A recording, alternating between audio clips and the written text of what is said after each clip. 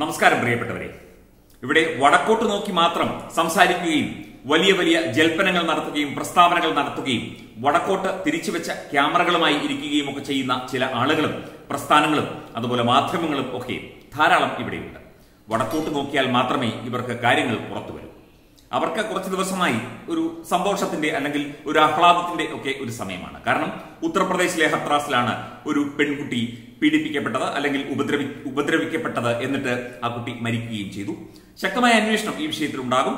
കാരണം അവിടെ പോലീസിന് ചില വീഴ്ചകൾ പറ്റി എന്ന തരത്തിൽ ആരോപണങ്ങളുണ്ട്. അവിടെയൊക്കെ മുഖ്യമന്ത്രി യോഗി ആദിത്യനാഥിന്റെ നേതൃത്വത്തിൽ തന്നെ കാര്യങ്ങൾ മുമ്പോട്ട് കൊണ്ടുപോവുകയാണ്. അന്വേഷണം അവിടെ എസ് അതുപോലെ തന്നെ സി ബി ഐ ഒക്കെ ഏൽപ്പിക്കാനുള്ള തീരുമാനവും മറ്റു കാര്യങ്ങളും ഒക്കെ വന്നു കഴിഞ്ഞു. എന്നാലും ഈ ബഹളം കൂട്ടലിനും അല്ലെങ്കിൽ ഉത്തർപ്രദേശിലേക്ക് നോക്കി ഹാഷ്ടാഗ് ഇടലിനും ഒന്നും ഒരു കുറവുമില്ല. അതൊക്കെ ഇവിടെ കാര്യമായി തന്നെ നടക്കുകയാണ്. അതിനിടയിലൂടെ സമര പരിപാടികളും സമര ആഭാസങ്ങളുമായി കോൺഗ്രസും സമര നാടകങ്ങളുമായി നമ്മളുടെ രാഹുൽ ഗാന്ധിയും സഹോദരി പ്രിയങ്ക ഗാന്ധിയും ഒക്കെ എത്തി രാഷ്ട്രീയ മുതലെടുപ്പ് തന്നെയാണ് അവിടെ നടക്കുന്നത്.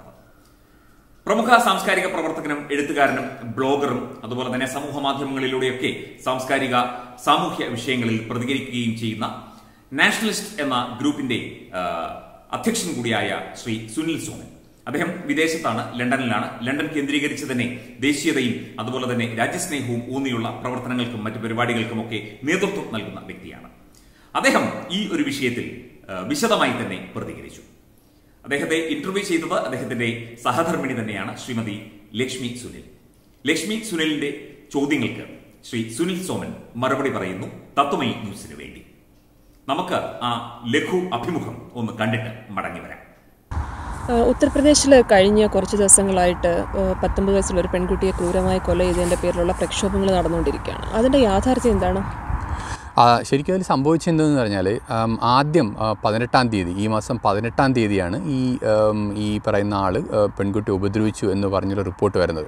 പക്ഷേ അന്ന് ആ റിപ്പോർട്ട് പ്രകാരം കുട്ടി പറഞ്ഞത് ഈ സന്ദീപ് എന്ന് പറഞ്ഞ ആൾ ഈ കുട്ടിയുടെ കഴുത്ത് ഞെരിച്ചു എന്നാണ് കുട്ടി പറയുന്നത്. അപ്പോൾ പക്ഷേ അന്ന് ആക്ച്വലി ഇവർ ഈ നാവ് കണ്ടിച്ച് കളഞ്ഞു എന്നൊക്കെ പറഞ്ഞിട്ടുള്ള പ്രചാരണം നടക്കുന്നത് അതൊക്കെ തെറ്റാണ്. കാരണം അന്നത്തെ ആ വീഡിയോയിൽ കുട്ടി തന്നെയാണ് അതിന്റെ സ്റ്റേറ്റ്മെന്റ് കൊടുക്കുന്നത്. ഈ സന്ദീപ് എന്ന് പറഞ്ഞ ആൾ ആ കുട്ടിയെ ഉപദ്രവിച്ചു. പക്ഷേ അതിനകത്ത് ആ, കുട്ടി കഴുത്ത് ഞെരിച്ചു എന്നുള്ളൊരു കാര്യം മാത്രമേ പറയുന്നുള്ളൂ. പക്ഷേ അത് കഴിഞ്ഞിട്ട് ഇത് പതിനെട്ടാം തീയതിയാണ്. അത് കഴിഞ്ഞിട്ട് ഇരുപത്തിരണ്ടാം തീയതി പ്രതികളെ പിടിക്കുന്നു. അത് കഴിഞ്ഞതിന് ശേഷം ഇവർ സ്റ്റേറ്റ്മെന്റ് മാറ്റുകയാണ്. സ്റ്റേറ്റ്മെന്റ് മാറ്റിയിട്ട് ഇവർ അതിൽ ബലാത്സംഗം കൂടെ ചെയ്തു എന്ന് പറയുന്നു. പിന്നെ വേറെ മൂന്ന് പേരുടെ പേരും കൂടെ പറയുന്നു പറയുന്നുണ്ട്. അങ്ങനെ റേപ്പ് ചെയ്തു എന്ന് അവർക്ക് കള്ളം പറയേണ്ട കാര്യം എന്തുവാണ്? അത് ശരിയായിക്കൂടെ? ഒരു കള്ളം പറയേണ്ട കാര്യം? ആ, അല്ല അറിയില്ല. നമുക്കത് വ്യക്തമായിട്ടുള്ള വിവരമല്ല. പക്ഷേ നമ്മൾ ആ ഇത് വെച്ച് നോക്കുമ്പോൾ ഇവർ ആദ്യം പറയുന്ന വീഡിയോയ്ക്കകത്ത് അവർ റേപ്പിനെ പറ്റി പറയുന്നേ ഇല്ല. എന്റെ ഗലാദബാദിയ എന്റെ കഴുത്ത് ഞെരിച്ചു എന്ന് മാത്രമേ ആദ്യത്തിൽ പറയുന്നുള്ളൂ. അപ്പോൾ രണ്ടാമത്തെ അവർ മാറ്റി പറയുന്നു. അപ്പോൾ അത് എന്തുകൊണ്ടെന്ന് നമ്മൾ ആലോചിക്കേണ്ടി വരും. ഒരു പ്രോബബിലിറ്റി എന്ന് പറഞ്ഞാൽ ഒന്നുകിൽ ആരെങ്കിലും എന്തെങ്കിലും കൊടുത്ത് അവരെ പ്രലോഭിപ്പിച്ചിട്ടുണ്ടാവാം. അല്ലെങ്കിൽ ഉത്തർപ്രദേശിലൊരു നിയമമുണ്ട്. റേപ്പ് ചെയ്യപ്പെട്ട് കഴിഞ്ഞാൽ S C S T act പ്രകാരം റേപ്പ് ചെയ്യപ്പെട്ട് കഴിഞ്ഞ് കഴിഞ്ഞാൽ അഞ്ച് ലക്ഷം രൂപയും സർക്കാർ ജോലിയും കിട്ടും. അത് എന്തെങ്കിലും എക്സ്പെക്ട് ചെയ്തിട്ടാണോ? അത് വേറെ ആരെങ്കിലും അവരെന്തെങ്കിലും കൊടുത്ത് പ്രലോഭിപ്പിച്ച് ഈ രാഷ്ട്രീയക്കാരെല്ലാം അവിടെ പോയിട്ട് അതിൽ നിന്ന് മുതലെടുക്കാൻ ശ്രമിക്കുന്നുണ്ടായിരുന്നല്ലോ? അതുകൊണ്ടായിരിക്കും. അപ്പോൾ അത് കഴിഞ്ഞിട്ട് ഇരുപത്തെട്ടാം തീയതിയാണ് ആ കുട്ടി നില വഷളാവുകയും കുട്ടിയെ ഡൽഹിയിൽ ആശുപത്രിയിട്ട് മാറ്റുകയും അവിടെ വെച്ച് കുട്ടി മരിക്കുകയും ചെയ്യുന്നു. ഇതാണ് അതിന്റെ മുഴുവൻ സംഭവം എന്ന് പറയാൻ ഓക്കെ വീട്ടുകാർ മൃതദേഹം അന്ന് തന്നെ മറവ് ചെയ്യാൻ പോലീസ് വീട്ടുകാരെ ഇൻസിസ്റ്റ് ചെയ്തു എന്ന് പറയണു. വീട്ടുകാരോട് പറയാതെ അത് ചെയ്യാൻ ശ്രമിച്ചു എന്ന് പറയണു. അപ്പോൾ അതിന്റെ അത് ഇല്ല അത് സത്യമല്ല. അത് സത്യമല്ല. അതിൽ ഒരു ഫസ്റ്റ് ഓഫ് ഓൾ എന്ന് വെച്ച് കഴിഞ്ഞാൽ വീട്ടുകാരുടെ സമ്മതമില്ലാതെ വീട്ടുകാരുടെ പ്രസൻസ് ഇല്ലാതെ എന്ന് പറയുന്നത് തെറ്റാണ്. ഒരു വീഡിയോ ഉണ്ട്. അവിടെ അവിടുത്തെ പോലീസ് ഉദ്യോഗസ്ഥൻ പോയിട്ട് ആ വീട്ടുകാരെ അത് ചെയ്യാൻ വേണ്ടി കൺവിൻസ് ചെയ്യാൻ ശ്രമിക്കുന്ന ഒരു വീഡിയോ ഉണ്ട്. അപ്പോൾ അവരെ കൺവിൻസ് ചെയ്യാൻ ശ്രമിച്ചു. അവരുടെ സമ്മതത്തോടു കൂടി തന്നെ അടക്കാൻ വേണ്ടി ശ്രമിച്ചു. പക്ഷേ അവർ സമ്മതിക്കുന്നില്ല. അതും ഈ പറയുന്ന അത് ഉപയോഗിച്ചിട്ട് പിറ്റേ ദിവസം എന്തെങ്കിലും പ്രകടനം നടത്താനോ വേണ്ടിയിട്ടായിരിക്കാനാണ് സാധ്യത. അല്ലെങ്കിൽ ഈ പറഞ്ഞേകൻ ഈ രാഷ്ട്രീയക്കാരുടെ എന്തെങ്കിലും ഒരു അവർ ഇതിനെ ഈ അവരുടെ കഴുകന്മാരെ പോലെ അവിടുത്തെ സിറ്റുവേഷൻ അത് വെച്ച് മുതലെടുക്കാൻ വേണ്ടി കറങ്ങി കിടക്കണമല്ലോ അപ്പോൾ അതിന് വേണ്ടിയിട്ട് എന്തെങ്കിലും ആയിരിക്കും പക്ഷേ വീട്ടുകാരുടെ അടുത്ത് പെർമിഷൻ നേടാൻ വേണ്ടി ശ്രമിച്ചു. പക്ഷേ അവർ സമ്മതിച്ചില്ല. എന്നിട്ടും അവർ നിർബന്ധപൂർവം രാത്രി അടക്കി. അത് വിചാരിക്കുന്നത് മന നമ്മൾ മനസ്സിലാക്കുന്നത് വെച്ച് കഴിഞ്ഞാൽ അവിടുത്തെ ക്രമസമാധാന നില ഇല്ലാതാവാ ഇരിക്കാൻ വേണ്ടി. ഇവർ അത് വെച്ചിട്ട് വേറെ എന്തെങ്കിലും പ്രകടനങ്ങൾ നടത്താൻ ശ്രമിച്ചു. അത് ഒഴിവാക്കാൻ വേണ്ടിയിട്ട്. അങ്ങനെ എന്തെങ്കിലും റീസൺ കൊണ്ടായിരിക്കും അത് വേറെ എന്തെങ്കിലും എന്തെങ്കിലും ഉണ്ടോ എന്നുള്ളത് അറിയില്ല. ഈ കുറ്റവാളികളെ ശിക്ഷിക്കാനും ബാക്കിയുള്ള നടപടികൾക്ക് വേണ്ടി യോഗി സർക്കാർ എന്തൊക്കെയാണ് ചെയ്തിരിക്കുന്നത്? അവരെന്തൊക്കെ നടപടികളാണ് എടുത്തിരിക്കുന്നത്? യോഗി ആക്ച്വലി പതിനെട്ടാം തീയതി ഇവന്റെ ഇയാളുടെ പേര് പറഞ്ഞു. വിത്തിൻ ഫൈവ് ഡേയ്സ് തന്നെ ഈ സതീഷ് എന്ന് പറഞ്ഞ മെയിൻ അക്യൂസിനെ അറസ്റ്റ് ചെയ്തു. ഇരുപത്തിരണ്ടാം തീയതിയാണ് ഈ ബാക്കി മൂന്ന് പേരുടെ പേര് പറഞ്ഞത്. അവരെയും ഉടനെ തന്നെ അറസ്റ്റ് ചെയ്തു. പിന്നെ ഇതിന്റെ ഇൻവെസ്റ്റിഗേഷൻ നടത്താൻ വേണ്ടിയിട്ട് ഒരു എസ് ഐ ടി ടീമിനെ ഇൻസ്റ്റിറ്റ്യൂട്ട് ഇൻസ്റ്റിറ്റ്യൂട്ട് ചെയ്തു. മജിസ്ട്രേറ്റിന്റെ പ്രസൻസിലാണ് ആ ഇൻവെസ്റ്റിഗേഷൻ നടക്കുന്നത്. ഇവർക്ക് കോമ്പൻസേഷൻ ഈ പറഞ്ഞ ഈ പറഞ്ഞ അഞ്ച് ലക്ഷം രൂപയും സർക്കാർ ജോലിയും ഓർഡർ ചെയ്തു.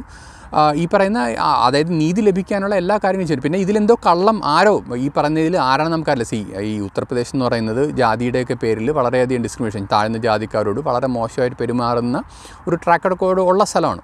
അപ്പോൾ അവിടെ എന്തെങ്കിലും നടന്നിട്ടുണ്ട് ഈ പറയുന്ന ഉദ്യോഗസ്ഥന്മാർ കാരണം അവിടെ ഈ ശരിക്കും ഇപ്പം യോഗിക്ക് നേരിട്ട് പോയിട്ടൊന്നും ഇംപ്ലിമെന്റ് ചെയ്യാൻ പറ്റില്ലല്ലോ. പോലീസുകാരെ ഉപയോഗിച്ചിട്ടാണല്ലോ ഈ നിയമമെല്ലാം ഇംപ്ലിമെന്റ് ചെയ്യുന്നത്. അപ്പോൾ ഈ പോലീസുകാരിൽ തന്നെ അവർ ഉയർന്ന ജാതിയും താഴ്ന്ന ജാതിയും തമ്മിൽ ഡിസ്ക്രിമിനേറ്റ് ചെയ്യുന്നുള്ള മനോഭാവങ്ങൾ അവിടെ ഉണ്ട്. അതെല്ലാം യാഥാർത്ഥ്യമാണ്. അപ്പോൾ അങ്ങനെ എന്തെങ്കിലും നടന്നിട്ടുണ്ടോ? ഈ പോലീസുകാരനെ എന്തെങ്കിലും തെറ്റ് ചെയ്തിട്ടുണ്ടോ എന്നറിയാൻ വേണ്ടിയിട്ട് ആണ് ഈ എസ് ഐ ടിയെ നിയോഗിച്ചിരിക്കുന്നത്. അപ്പോൾ എന്തായാലും യോഗി നീതി നടപ്പിലാക്കും എന്നുള്ള ഉറപ്പാണ്. ആരാണോ അതിൽ ശരിക്കും തെറ്റ് ചെയ്തത് അവരെ തീർച്ചയായിട്ടും പിടിപ്പിക്കപ്പെടും. ഏറ്റവും വലിയ ശിക്ഷ തന്നെ അവർക്ക് തീർച്ചയായിട്ടും വലിയ ശിക്ഷ തന്നെ കിട്ടും. പക്ഷെ അങ്ങനെ ഇപ്പൊ ഇത്രയും നടപടികൾ എടുത്തു ഇത്രയും കാര്യങ്ങൾ ചെയ്തു അവരെ അറസ്റ്റ് ചെയ്തു. ഇത്രയൊക്കെ ചെയ്തിട്ടും ഈ പുറത്ത് പ്രക്ഷോഭങ്ങൾ നടക്കുന്നു മറ്റുള്ള രാഷ്ട്രീയ പാർട്ടികളുടെ പ്രക്ഷോഭങ്ങൾ എന്തിനു വേണ്ടിയിട്ടാണ്? അതെന്ന് വെച്ച് കഴിഞ്ഞാൽ അവർ രാഷ്ട്രീയ മുതലെടുപ്പിന് വേണ്ടി കാരണം യോഗി വളരെയധികം ശക്തനായിട്ട് അവിടെ വളർന്നു വരുന്നുണ്ട്. ഇപ്പം നമ്മൾ നമുക്കറിയാമെങ്കിൽ ഈ ബിസിനസ് ചെയ്യാനുള്ള എളുപ്പത്തിന്റെ കാര്യത്തിൽ മുമ്പ് ഒമ്പതാം സ്ഥാനത്തായിരുന്നു ഇപ്പം രണ്ടാം സ്ഥാനത്ത് എത്തിയിട്ടുണ്ട് ഉത്തർപ്രദേശ്. ഒരുപാട് വികസനങ്ങൾ നടക്കുന്നുണ്ട്. പിന്നെ അവിടെ ഫുള്ള് ഈ ഗാങ്സ്റ്റേഴ്സിന്റെ സ്ഥലമായിരുന്നു. ഈ ഗാങ്സ്റ്റേഴ്സിനെല്ലാം ഓടിച്ചിട്ട് വെടിവെച്ച് പോലെയാണ് അവിടുത്തെ ക്രമസമാന നില ബെറ്ററായി വരുന്നുണ്ട്. അപ്പോൾ യോഗി മിക്കവാറും ഒരു അടുത്ത പ്രത്യേകിച്ച് ഉത്തർപ്രദേശ് എന്ന് ഭാരതത്തിലെ ഏറ്റവും വലിയ സ്റ്റേറ്റാണ് അപ്പോൾ അടുത്ത ഒരു പ്രധാനമന്ത്രി എന്ന നിലയിലോട്ട് യോഗി വളർന്നു വരികയാണ്. അപ്പോൾ മോഡിയെക്കാളും കുറച്ചുകൂടെ ഒരു കുറച്ചുകൂടെ സ്റ്റേണായിട്ടുള്ള ഭരണാധികാരിയാണ്. അപ്പോൾ ഈ കോൺഗ്രസ്സുകാരും ജിഹാദികളും കമ്മ്യൂണിസ്റ്റുകളും എല്ലാവരും യോഗിയെ ഭയക്കുന്നുണ്ട്. അപ്പോൾ യോഗിയുടെ വളർച്ച അതായത് രണ്ടായിരത്തി രണ്ടിൽ എങ്ങനെയാണോ ഗോദ്ര സംഭവം ഉപയോഗിച്ചിട്ട് മോഡിയെ ഇല്ലാതാക്കാൻ വേണ്ടി അവർ ശ്രമിച്ചത് അതേപോലെ അവർ യോഗി ഇല്ലാതാക്കാൻ വേണ്ടി അവർ ശ്രമിക്കുകയാണ്. പക്ഷേ അവരും അവർക്ക് മനസ്സിലാവും എത്രത്തോളം യോഗി എതിർക്കും അത്രത്തോളം പുള്ളി കൂടുതൽ ശക്തനായി വളർന്നു വരും എന്നാണ് ഇവർ മനസ്സിലാക്കാത്തത്. ആ ഒരു മണ്ഡത്തിനാണ് അവർ ചെയ്തുകൊണ്ടിരിക്കുന്നത്. അപ്പോൾ ശരിക്കും പെൺകുട്ടിക്ക് നീതി മേടിച്ചു കൊടുക്കുക എന്നുള്ളതല്ല. പകരം യോഗിയെ ടാർഗറ്റ് ചെയ്തു അത്രേ ഉള്ളൂ. നീതി മേടിച്ചു കൊടുക്കാനാണ് നീതി മേടിച്ചു കൊടുക്കാനാണെങ്കിൽ ആൾറെഡി അതിനുള്ള ഇതെല്ലാം ചെയ്തിട്ടുണ്ട്. ഇവർ ഈ കാണിക്കുന്നതെല്ലാം അവരുടെ സ്വാർത്ഥ ലാഭത്തിനുള്ള നാടകങ്ങളാണ് ഇപ്പോൾ കാണിക്കുന്നത്. കുറ്റവാളികൾക്ക് എത്രയും വലിയ ഏറ്റവും വലിയ ശിക്ഷ തന്നെ കിട്ടുമെന്ന് തീർച്ചയായും. യോഗിയുടെ ഭരണത്തിൽ ഏറ്റവും വലിയ ശിക്ഷ തന്നെ അവർക്ക് ലഭിക്കും. ആ കാര്യം നമുക്ക് ഉറപ്പാണ്. ഓക്കെ. അതെ അദ്ദേഹം കൃത്യമായി തന്നെ ഉത്തർപ്രദേശിൽ അദ്ദേഹത്തിന്റെ സുഹൃത്തുക്കളെയും അദ്ദേഹത്തിന് വേണ്ടപ്പെട്ടവരെയും ഒക്കെ വിളിച്ച് ഒരുപാട് ഉദ്യോഗസ്ഥരെയും ഒക്കെ വിളിച്ച് കാര്യങ്ങൾ അന്വേഷിച്ച് കാര്യങ്ങൾ അറിഞ്ഞതിന് ശേഷമാണ് അദ്ദേഹം പ്രതികരിച്ചിരിക്കുന്നത്. ഇതാണ് അവിടുത്തെ സത്യാവസ്ഥ. ഇതാണ് അവിടെ നടക്കുന്നത്. അവിടെ ഈ പറയുന്നത് പോലെയുള്ള ഇത്രയും ഭീകരാവസ്ഥയും മറ്റു കാര്യങ്ങളുമൊന്നും അവിടെ ഇല്ല. അവിടെ സ്വാഭാവികമായി അദ്ദേഹം പറഞ്ഞതുപോലെ ജാതീയമായി ഒരുപാട് പ്രശ്നങ്ങൾ ഉള്ള മേഖലയാണ്. മുഖ്യമന്ത്രിക്ക് നേരിട്ട് ഓരോ ഗ്രാമങ്ങളിലുമൊന്നും ചെന്ന് കാര്യങ്ങൾ അന്വേഷിക്കാൻ ചിലപ്പോൾ സാധിച്ചു എന്ന് വരില്ല. പക്ഷേ യോഗി ആദിത്യനാഥ് ജി അങ്ങനെ ചെയ്യുന്നയാൾ കൂടിയാണ്. അപ്പോൾ കൃത്യമായി ഈ വിഷയത്തിൽ ഒരു അന്വേഷണം ഉണ്ടാകും. പ്രതികൾ ആരായാലും പ്രതികളെ ആദ്യം തന്നെ അറസ്റ്റ് ചെയ്തല്ലോ. ശ്രീ സുനിൽ സോമൻ പറഞ്ഞത് നമ്മൾ കേട്ടതല്ലേ. അപ്പോൾ ഈ രീതിയിലാണ് അവിടെ കാര്യങ്ങൾ പോകുന്നത്. ഇതൊക്കെ വെറും രാഷ്ട്രീയ മുതലെടുപ്പ് മാത്രം. പിന്നെ അദ്ദേഹം പറഞ്ഞ വളരെ പ്രധാനപ്പെട്ട ഒരു കാര്യം. ഈ യോഗി ആദിത്യനാഥ് വളർന്നു വരുന്ന ഒരു പ്രധാനമന്ത്രിയാണ്.